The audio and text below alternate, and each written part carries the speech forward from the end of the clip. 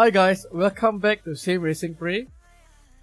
Okay, I'm going to show you uh how you're going to how how how I do my way to like to view my chat for my Facebook gaming in iRacing as an overlay so that uh, I'll be able to like communicate to my streamers and also see the notification and and their chat.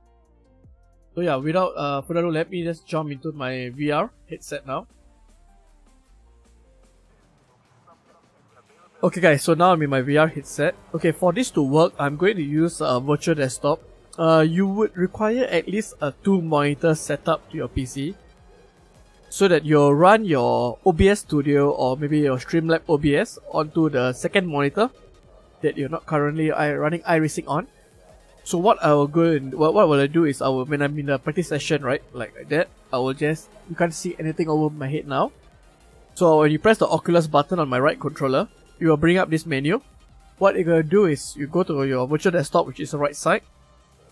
Click on it, go to monitor number two, which I am aware that uh, I put it full screen mode, where I it's on my monitor two. So can you see the overlay on top of me now?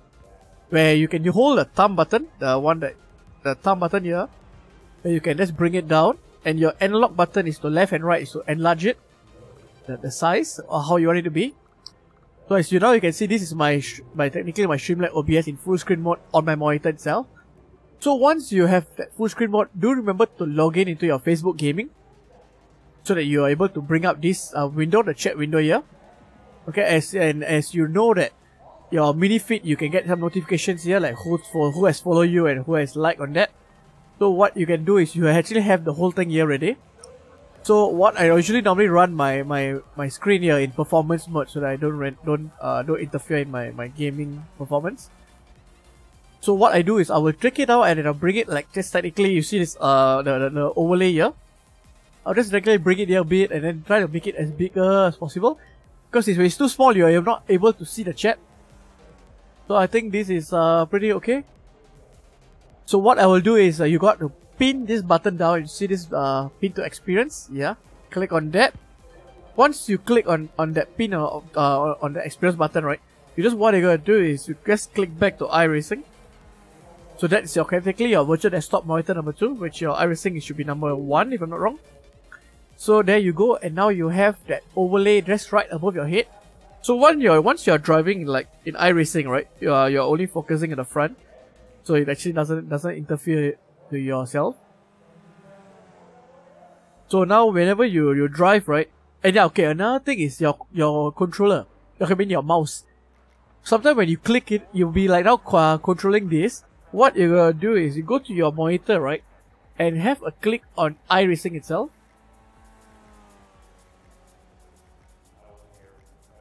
Once you click iRacing screen and then you get back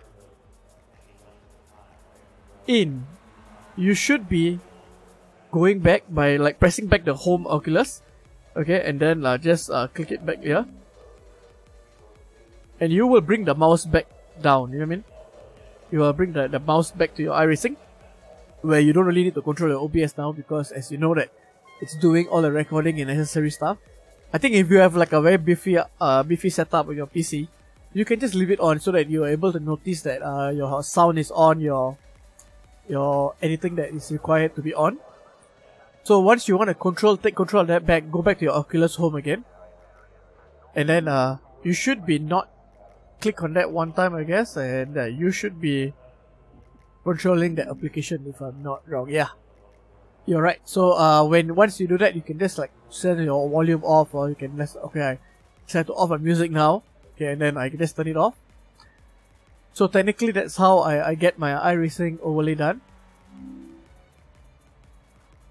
So technically this is the way how I, I make it work for my setup. It's not that uh difficult. I mean in the way that uh it's actually the only way that I kind of found on how I, I get my chat overlay in. So I will just show you like a, a, practice session. Like, how does it interfere me?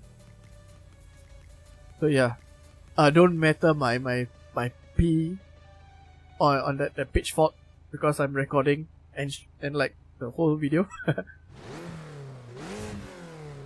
so technically this is the how the overlay will look. So like if like any followers, so you'll be able to see. But anyway, currently I'm recording uh, using my, my Oculus Mirror, which I don't really use Oculus Mirror for my my my as, as a as an app to, to record. I'm using my Oculus Mirror over on my HJ60, which is my middle monitor. So the setup is a bit uh, different. So I usually use the normal iRacing, the, the one that is loads up the screen, where I'm able to do my reshade and then get better graphic to you guys for iRacing. So that is the way how I, I kind of like launch the thing. But damn, it's pretty good man. I mean the driving and I mean the feel in IVR. So yeah, that's how actually I, I get the notification. But yeah, for now you're able to see my, my Oculus. I mean you can be able to see Streamlabs just above my head, right? But whenever when I use my iRacing, like the one that iRacing uh, launches out, not the Oculus Mirror like the renderer.64, uh, uh, that is displayed, you will not be able to see my my you will not able to see Streamlabs on top of over me. So which is a good thing, which I don't think it's actually quite nice if I'm going to show you my Streamlabs while I'm driving, you know what I mean? Uh, so but guys, yeah, if you have like another like other options that you can do it in a better way and easier way, do let me know. I'll be very much interested to know from you guys. Do drop by a comment. And yeah, guys, do join my Discord and let's uh I love this car in cold tires.